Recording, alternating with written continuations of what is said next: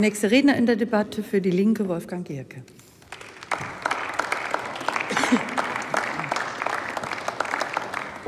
Liebe Kolleginnen und Kollegen, wie ernst die Bundesregierung die Fortführung des Mandates nimmt, kann man erkennen, wenn man auf die Regierungsbank blickt, wer hier alles nicht da ist.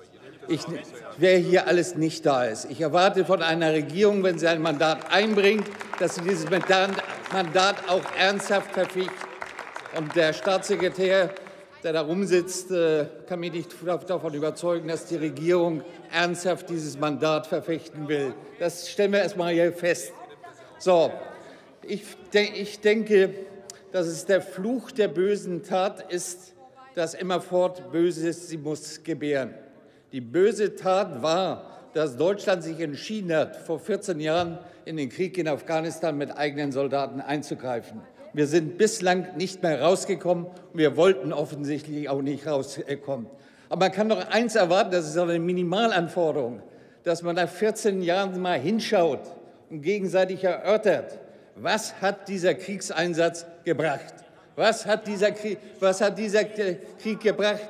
Das kann man doch auch von Ihnen erwarten. Sie wollen die Augen zumachen vor der Katastrophe des Krieges, der gescheitert ist. Eine blutige Niederlage in Afghanistan, die Sie ver ver verantworten. Sie wollen die Augen davor zumachen vor dem Ergebnis. Und ich sage Ihnen mal die einige Punkte meiner Beurteilung des Krieges in Afghanistan. 70.000 Tote hat dieser Krieg in Afghanistan gebracht. Er hat in Deutschland dazu geführt, dass wir das Völkerrecht in Afghanistan tief verletzt haben. Auch 55 Bundeswehrsoldaten sind in Afghanistan umgekommen. Das Mindeste wäre gewesen, dass man sich diesen Opfern stellt und der Auseinandersetzung darüber stellt. Hat es sich gelohnt, in diesen Krieg zu gehen, oder wäre es besser gewesen, es zu unterlassen? Ich bin entsetzt darüber, dass in den äh, Debatten dieser Tage über Syrien die gleichen Krampfargumente wieder benutzt werden, die schon zur, Reklamier zur Rechtfertigung des Afghanistan-Krieges benutzt äh, worden sind. Sie haben, gar, Sie haben gar nichts dazu äh, zugelernt. Buchstabieren wir doch mal ein paar Sachen durch.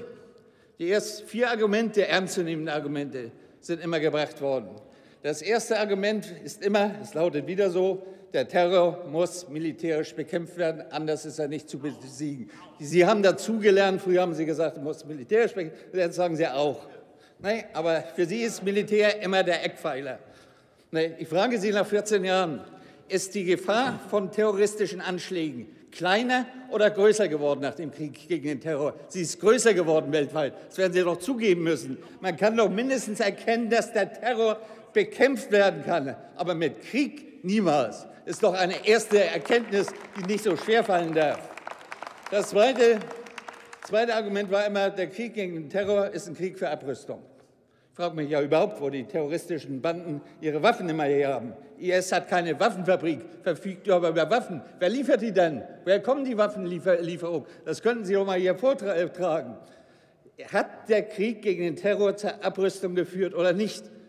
Stimmt nicht. Er hat zur Aufrüstung äh, geführt. Das ist beweisbar. Das dritte Argument war, wir wollen mit dem Krieg gegen Terror für Demokratie uns einsetzen, dass in den Staaten Demokratie äh, äh, wächst. Wo ist in diesen Staaten Demokratie gewachsen?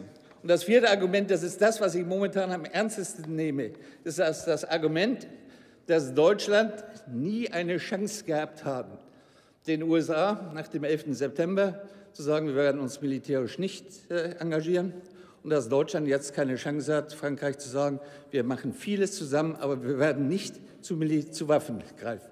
Das ist ein ernstzunehmendes Argument. Können wir unseren Verbündeten, kann der deutsche Staat seinen Verbündeten sagen, vieles können wir gemeinsam machen, aber wir wollen nicht gemeinsam zu Waffen greifen. Ich finde, wenn man es ernsthaft meint mit der Freundschaft zu Frankreich, muss man auch Frankreich sagen, wir agieren zusammen politisch. Wir können viel innenpolitisch leisten. Wir können viel in Polizeieinsätzen äh, leisten. Hände weg von Waffen. Das sagt übrigens auch die französische Linke. Wir wollen nicht, dass gemeinsam in Kriege gezogen wird. Haben wir das Recht, haben wir das Recht gehabt, den USA zu sagen, wir wollen nicht zusammen Krieg äh, führen? Finde, wir hätten das Recht gehabt, wir hätten die Verpflichtung gehabt, auch das den, der USA äh, vorzutragen. Das heißt, kein ernstzunehmendes Argument äh, für die Kriege ist wirklich durchzubuchstabieren. Man kann Kampf gegen den Terror gewinnen, wenn man das macht, was man machen kann. Warum, frage ich Sie, wird nicht endlich die, der Zufluss an Kämpfern nach Syrien wirklich unterbunden? Die kommen doch auch aus unserem Land, die kommen aus Europa, aus unserer Nachbarschaft. Warum wird nicht endlich der Waffenhandel äh, unterbunden? Das können Sie doch leisten. Und das fängt damit an, dass man endlich aufhört, deutsche Waffen in diese Region äh, zu, zu, äh, zu, liefern.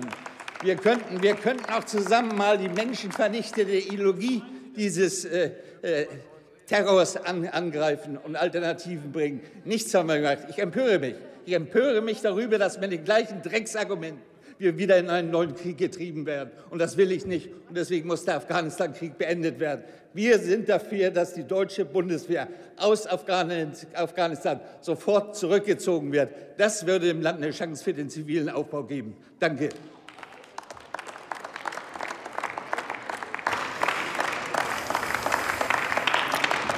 Vielen Dank. Nächster Redner in der Debatte, Dr.